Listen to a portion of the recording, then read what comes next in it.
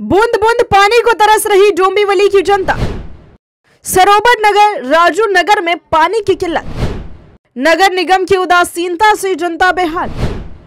केंद्र सरकार की स्मार्ट सिटी की सूची में महाराष्ट्र के कल्याण डोंबिवली का नाम शामिल है। स्मार्ट सिटी परियोजना से जुड़े महत्वाकांक्षी काम शहर में प्रगतिशील है, लेकिन आज भी डोंबिवली के कई इलाकों में पानी की भीषण समस्या से नागरिक हैरान और परेशान हैं। आपको बता दें कि डोंबिवली पश्चिम में कल्याण डोंबिवली महानगर पालिका के वार्ड नंबर उनचास और 50 राजू नगर, सरोवर नगर तथा गरीवाचा वाड़ा आदि परिसर की हज़ारों जनता बूंद बूंद पानी के लिए तरस रही है। आलम यह है कि दिन भर में मुश्किल से आधा घंटे पानी की आपूर्ति होती है। सुबह शाम पानी के लिए लोगों को दर दर भटकना पड़ता है। पानी की किल्लत से व्यथित लोगों ने बताया कि बीते आठ से दस सालों से पानी की भीषण समस्या मुँह उठाए खड़ी है। पानी के समस्या आठ साल हो गया। आठ साल से हम लोग इधर पानी पानी करके नगर सेवक के पास जाता है तो वो बोलते है, करेगा करेगा।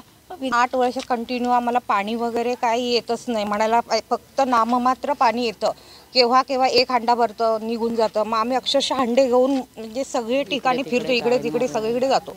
संबंधित महानगर पालिका के अधिकारियों को अनेकों बार शिकायत कर समस्या से अवगत कराया गया। स्थानीय नगर सेवक विकास महात्रे ने भी जनता के प्रतिनिधि के तौर पर अधिकारियों से मिलकर चर्चा की, लेकिन नागरिकों का आरोप है कि नगर निगम के सुस्त अधिकारी आश्वासन के अलावा और कुछ नहीं दे पाए।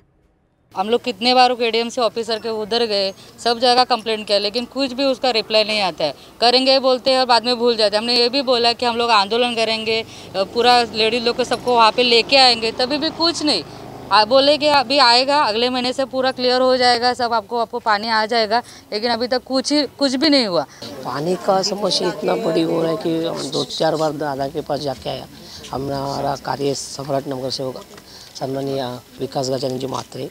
और कविता ताई बार बार बात यही हो रहा है कि पानी का प्रॉब्लम इतना हर दिन का वही प्रॉब्लम चल रहा है। केडीएमसी की उदासीनता के चलते हज़ारों करदाता नागरिक पानी जैसी मूलभूत सुविधा से वंचित हैं। नियमित रूप से टैक्स का भुगतान करने वाले लोगों को नियमित रूप से पानी कब मिलेगा? केडीएमसी के अधिकारी कब नींद से जाकर उनका दुखड़ा सुनेंगे? ऐसे ही कुछ गंभीर और ज़रूरी प्रश्न आज डोंबिवली की जनता कर रही है। मेट्रो मुंबई के लिए ज्योति यादव के साथ संवाददाता सुनील शर्मा की रिपोर्ट।